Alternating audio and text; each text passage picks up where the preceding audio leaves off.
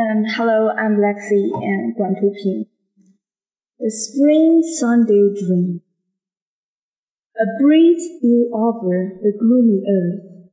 The sweet light was high over all. Creeping in, it glowed on her glorious cheeks.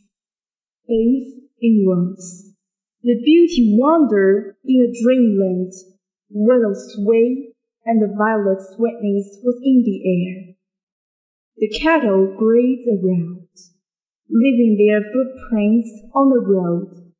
Clouds, nightingales, roses, and a fountain clean every heart calm, all bathed in the warmth of sun, flourishing in a riot of colors, merrily interwoven into a spring sundial dream. She walks in beauty by Lord Byron.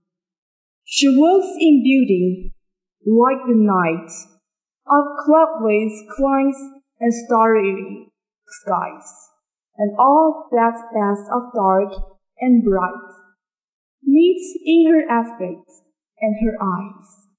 Thus, mellow to that tender light, which heaven to gaudy day denies.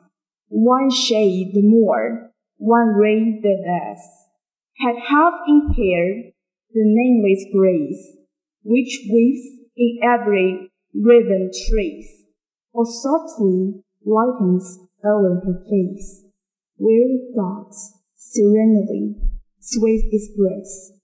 How pure how dear their dwelling place. Thank you.